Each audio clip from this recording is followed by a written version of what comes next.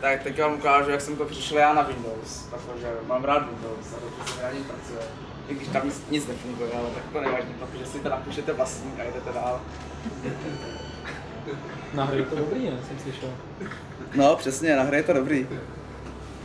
Tak a jak vypadá instalace nové verze PHP manuálně?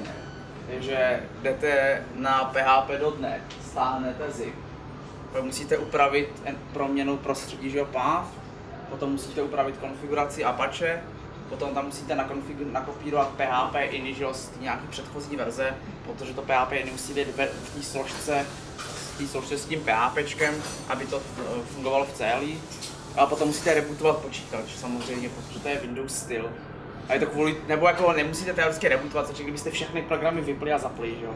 Protože proměný prostředí se jako nepropagují o tom, že je změníte, a oni by se nějak dopuplali, že jo, proměný prostředí se prostě změnu změní a musí se program vypnout a zapnout, aby se načetl tu novou. Že? Takže to je blbost, takže takhle to dělat samozřejmě nebudeme. Překvapivě Windows má symlinky, když jako věč, polovina Windows programů o nich neví, a takže to vždycky funguje tak trošku divně, ale Windows má symlinky už asi tak 10 let.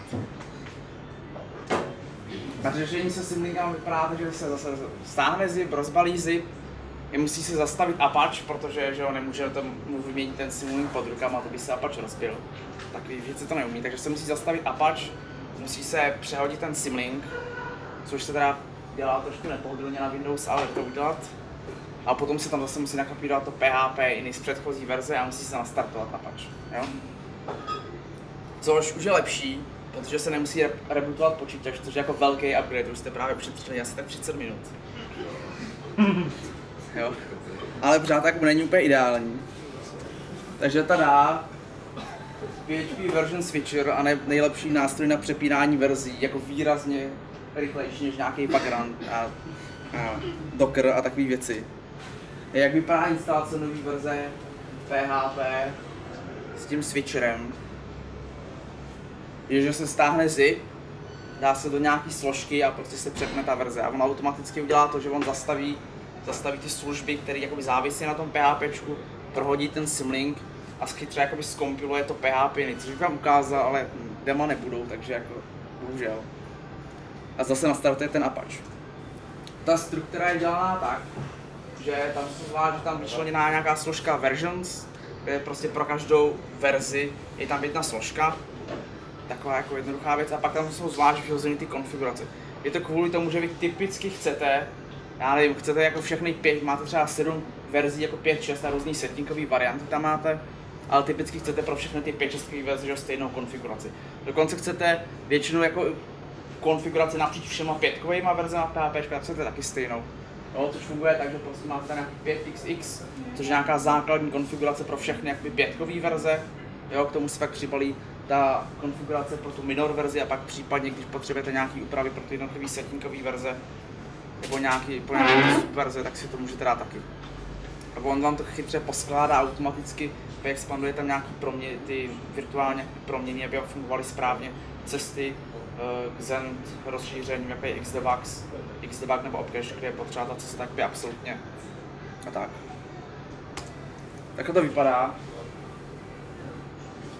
Je tam prostě jedno menu, kde se vybere verze a to je asi tak celý. Výhoda je, že oproti třeba tomu, jak jsme tady ukazovali, ten nějaký ten Vagrant nebo Docker, tak prostě přehodit verzi jakoby s Dockerem nebo s Vagrantem jako trvá, je prostě věc, která trvá děsně dlouho.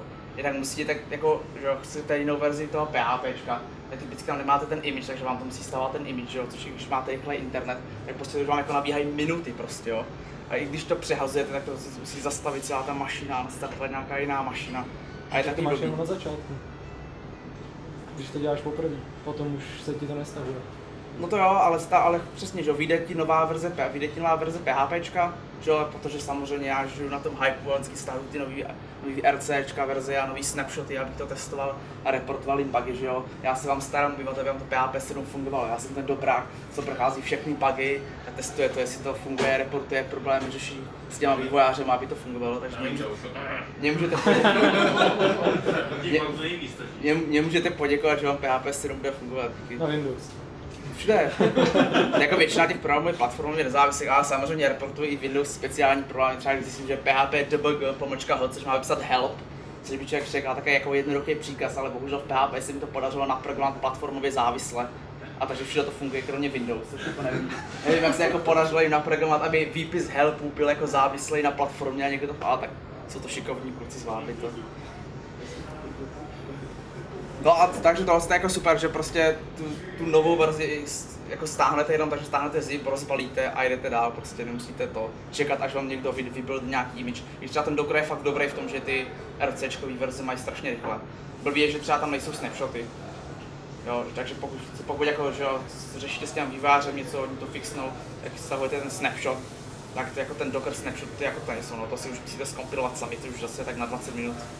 Na druhou stranu já zase občas musím občas taky čekat, než vydají ty Windowsy snapshoty, takže ono to není jako se jak vyjde rychleji. No.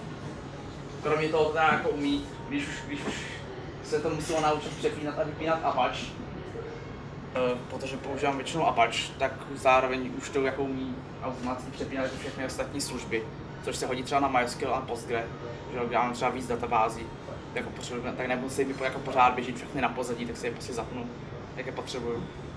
Stejně tak třeba Rabbit nepotřebuji na každém projektu mít furt puštěný na pozadí, tak se ho vypnu, zapnu, jako se mi líbí. Kromě teda Apache to podporuje i Nginx. Pokud používáte někdo na Windows Nginx, používá to málo kdo, ale jsou lidi, co to používají, funguje Nginx relativně v pohodě na Windows. Tak, tak to umí taky. Eh, stejně tak to umí ten PHP built-in server, což je ta věc od PHP 5.4, si to třeba funguje docela v pohodě.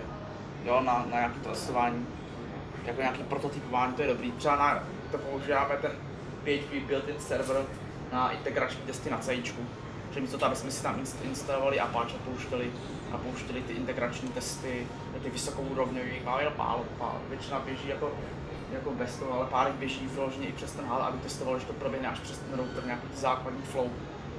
Jenom to právě v pohodě se nastartuje ten, ten PHP built-in server, jo, a tak, tak to si tady si může zase taky vyhrát, že to všechno v pohodě. A to je celý. Protože jo, nějaký odkaz ke stažení, je to u mě teda na GitHubu, to je všechno. Víc mi toho není, protože není projektor. No. Víš, že IS to má základě ale IS fakt nechci používat. Co jsi měl zeptat, jestli tady někdo používá Windowsy?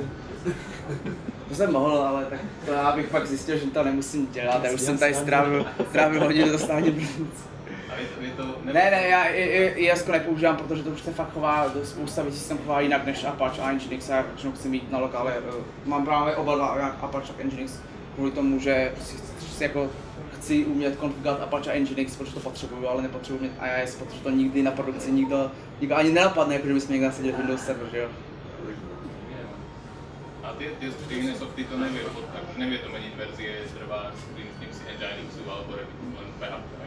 No, Nginx jako teorety v podstatě umí, ale, ale to jsem teda nikdy nepotřeboval. Ale jako principiálně umí, no. Ty, když si toho konfigurátora, prostě to je zrovna Nginx víckrát v pohodě. Apache asi taky. Musel bys... len switchovat verzi IT, alebo respektive tam to hmm. už jako, len jako služby, že? Hmm. No. Jako, že tam prostě budeš mít ten Nginx, budeš tam mít jako zvlášť, jak bych tady v tom menu, už to vrátíme, no. tak bys tady, jak tady už Apache Nginx 1.9, tak bys si tam prostě přidal Nginx 1.8, dal bys to nějaký jiný složky a fungovalo by to taky. Mm-hmm ale jako by není to na to primární dělaný. Jako zase nepotřebuješ, nejsem tak daleko. Potřebuji si to jako milion setinkových verzí různého PHP a různých snapshotů a takové varianty. Různě jako x64 a non verze, ale nepotřebuji jako víc verzí Apache Nginxu. Mimochodem můžeme stát takovou odbočku. Spousta lidí jako tápe mezi tím jako x86, x64, NTS a TS, že jo. Na Windowsu čtyři varianty PHP, jo. A jenom můžeme tady stručně zopakovat ty rozdíly, kdyby někdo tápal. Tak, že x86 a x64 se jako teoreticky by se mělo lišit jako velikosti integeru, což ale fakt funguje až od PHP 7, to znamená na PHP 5 jako major verzi, tak když máte Windows, tak jakoby ta 64-bitová verze v podstatě nedává smysl, protože tam jako není nic 64-bitového.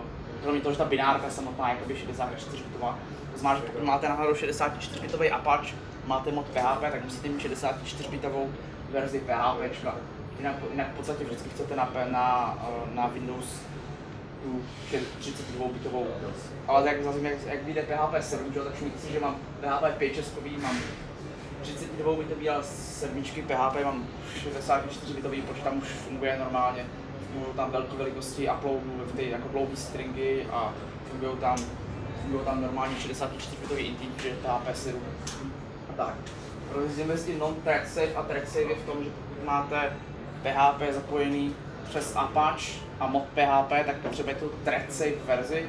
A pokud máte PHP zapojený přes Nginx nebo přes Apache a, a přes Fast, Fast CG, tak potřebujete tak, aby tu no to se non thread save verzi.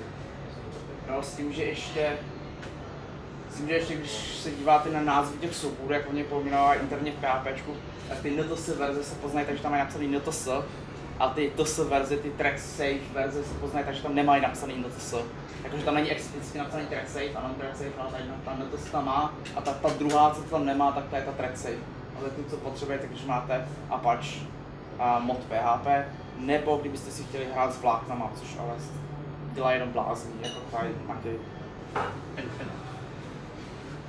Víš, to je asi za mě všechno. Já moc neznám Windowsy, ale když bych je chtěl nainstalovat, co k tomu potřebuju? Je Vůbec. tam exáč nebo... No, je to, je to je, studio. jako musíš, můžeš to zkompilovat sám z těch C-sharpových zdrojáků, ale tam normálně ten exáč si stáhneš a má to vedle sebe jeden JSON, kde je jakoby konfigurace. Já znám někoho na Windowsy, který mi se to možná i hodilo. Jenom nevím, jak to k tomu. No je to právě jako ta, ta, je to dobrý v tom, že to je jako jednoduchý na instalaci a je jako jednoduchý. Já jsem to udělal, protože jsem nechápal, jak fungují ty vampy a, a, a ty a vždycky to dělalo něco magického, mělo to milion věcí chování, tak jsem nechápal. Jsem si napsal něco, co vím, co udělá, že prostě zastaví ty služby, přehodí symlink, překopíruje PHP iny, nastartuje služby a to je celý vlastně, co to dělá. A vykreslí menu. Ah, buenísimo, buenísimo. Tadá.